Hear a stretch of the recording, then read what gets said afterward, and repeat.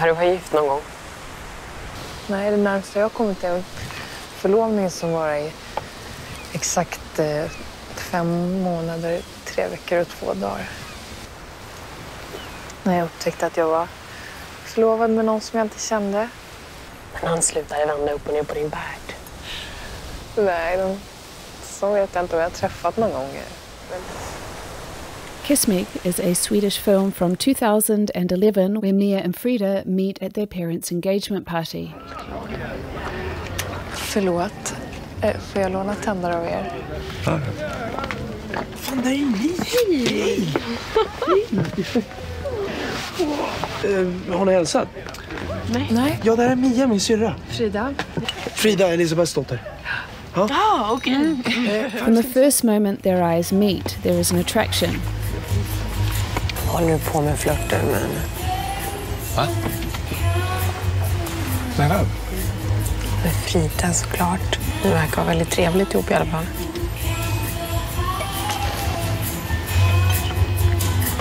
When the two of them go out to spend time with their respective parents at the holiday house, they draw closer together.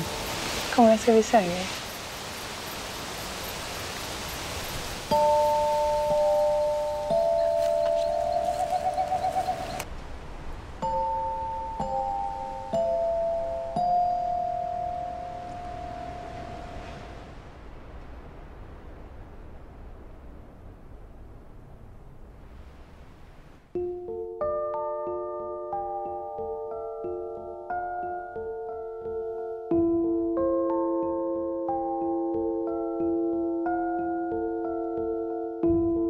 But it's clear that their attraction is bigger than either of them, even if Mia is not ready to face it. Varför kysste du?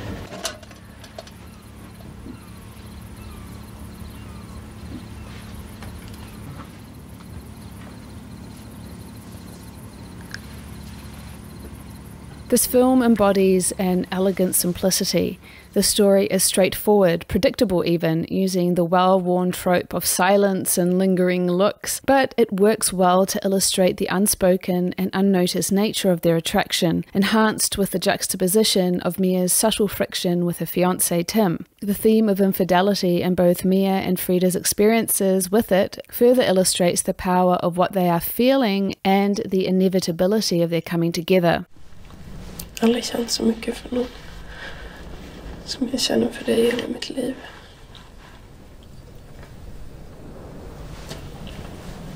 Du ska gifta dig med Tim om tre månader. jag är dum i huvudet.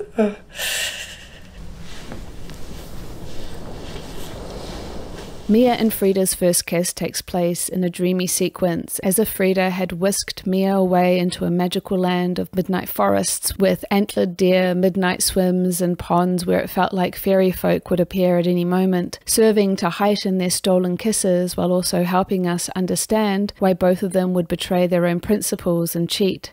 There is an element of escape in this place so far away from their real lives. When they do come together, it is again in silence, with no score and barely a sound, which struck me as symbolic of the silence in which Mia had lived her queerness until then, but also enhancing the impact of their lovemaking and how shaken Mia is by the encounter in a way that frightens her because it's clear that the deepest part of herself has been touched, something that Tim hasn't been able to do, and she won't be able to ignore this any longer. Jag tycker så det är kaos hos mig, förstår du? Frida, jag älskar dig. Vi har ett helt liv ihop. Jag vet att du känner något för mig. Jag ska gifta mig med Tim om några månader. Jag kan inte känna så här för dig, förstår du inte det?